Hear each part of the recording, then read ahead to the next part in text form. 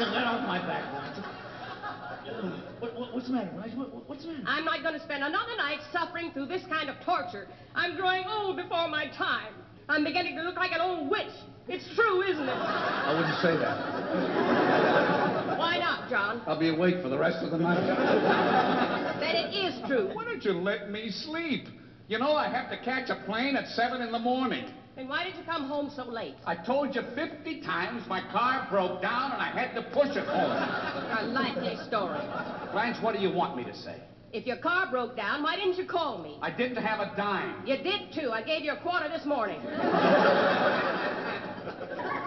Please, Blanche, can't you understand? I gotta be in shape for my trip in the morning. Well, all right.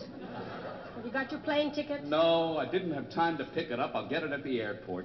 What are you going to do for money? I've got enough. There's plenty in the sugar bowl. There's nothing in the sugar bowl. There is, too. I looked last night. You didn't look tonight. Well, I'm not going to get up and look. Blanche, you didn't. Didn't I? You couldn't. I mean, you wouldn't take You don't that. really have to make this trip, John, and I was just thinking... The money, Blanche. Yes, well, I have an opportunity to get a sweet little hat. You can wear it with the brim up or you can turn it down. It's $50. Turn it down. Well, I was thinking... Blanche, stop thinking so much. Where is my plane fare? I haven't got it, John. What?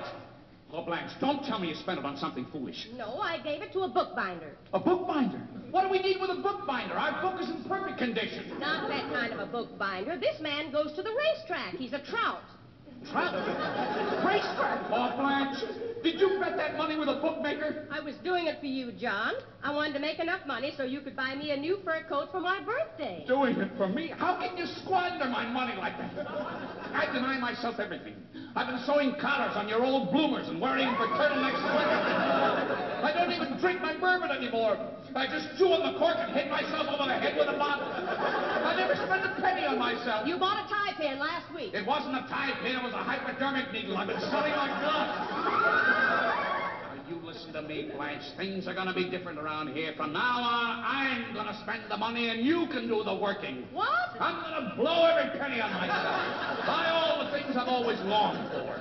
New pants with zippers instead of paper clips. Real face lotion instead of fly spray. I'm even gonna buy three silver faucets for the bathtub. Three faucets? Hot, cold, and bourbon. How any man could have such a savage temper. Have you ever asked yourself the reason why we argue so much?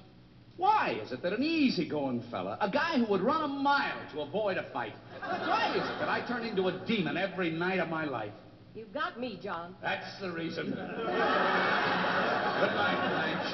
Good night, John.